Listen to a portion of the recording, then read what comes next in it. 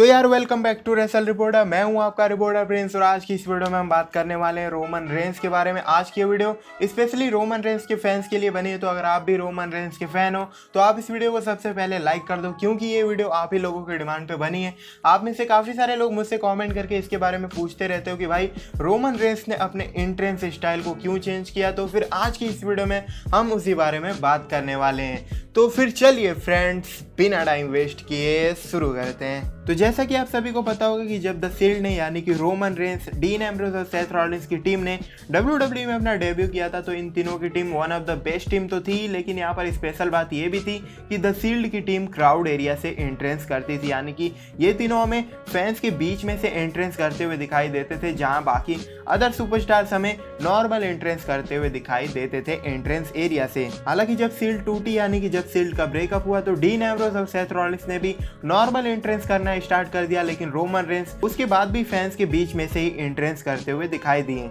लेकिन Roman Reigns के fans के लिए एक शॉकिंग टाइम तब है जब रोमन रेंस ने भी अपने एंट्रेंस स्टाइल को चेंज कर दिया और वो भी नॉर्मल तरीके से एंट्रेंस करने लगे। और इसके बाद फैंस के मन में ये सवाल आने लगा कि आखिर रोमन रेंस ने अपने एंट्रेंस स्टाइल को क्यों चेंज किया? वो अब क्राउड की तरफ़ से क्यों नहीं एंट्रेंस करते हैं? काफ़ी सारे लोगों को तो ऐसा भी लगता था कि क्राउड की तरफ़ से रोमन रेंस का एंट्रेंस करना बैन हो चुका है। लेकिन मैं आपको बता दूँ कि ऐसी कुछ भी बात नहीं है। आपको मैं बता दूँ कि रोमन रेंस के लिए क्राउड की तरफ़ से एंट्रेंस करना कोई भी आसान बात नहीं थी। क्योंकि यहाँ पर रोमन रेंस जब क्राउड की तरफ़ से एंट्रेंस करते थे तो वहाँ पर काफ़ी सारे फैंस होते थे और वहाँ पर सभी फैंस उन्हें छूने की कोशिश करते थे। पहले तो हालात उतने बुरे नहीं थे, लेकिन आप सभी को पता होगा कि बाद में रोमन रेंस को फैंस की तरफ़ से काफ़ी बुरी तरह से हेट मिलनी शुरू हो गई और इस वजह से उनका क्राउड की तरफ़ से एंट्रेंस करना काफ़ी ज़्यादा डेंजरस भी हो गया था। मैं आपको बता दूँ कि रोमन रेंस ने खुद एक इंटरव्यू में इसके बारे में बताया था कि मुझे क्राउड की तरफ़ से एंट्रेंस करने में काफ़ी प्रॉब्लम होती थी, क्योंकि फैंस वहाँ पर मुझे छूने की कोशिश करते थे, मुझे ग्रैप करने की कोशिश करते थे और कभी कभी तो रोमन रेंस के गलत चीज़ों पर भी हाथ लगा देते थे। तो फिर ऐसे में आप यहाँ पर ये इमेजिन कर सकते हो कि ये रोमन रेंस के लिए कितना ज़्यादा खतरनाक रहा होगा और इवन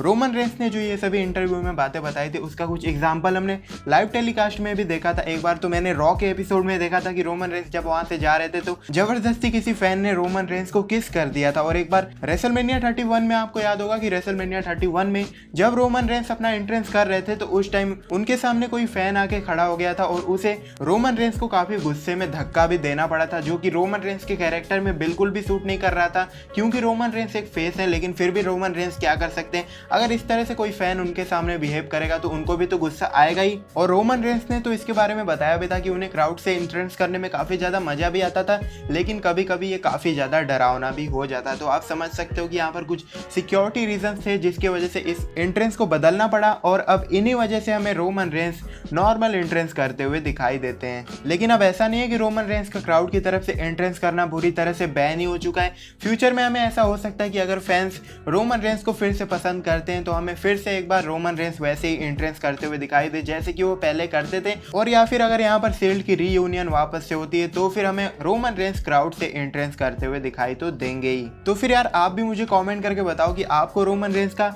क्राउड एरिया की तरफ़ से एंट्रेंस करना ज़्यादा पसंद आता है या फिर नॉर्मल एंट्रेंस करना ज़्यादा पसंद आता है। साथ ही साथ आप मुझे ये भी बताना कि आप क्राउड की तरफ़ से रोमन रेंस का एंट्रेंस कितना ज़्यादा मिस करते हो। वीडियो पसंद आई हो तो आप इस वीडियो को लाइक कर देना और ऐसी और वीडियोस पाने के लिए आप इस चैनल को सब्सक्राइब भी कर देना। तो यार, मिलते हैं। अगले वीडियो में।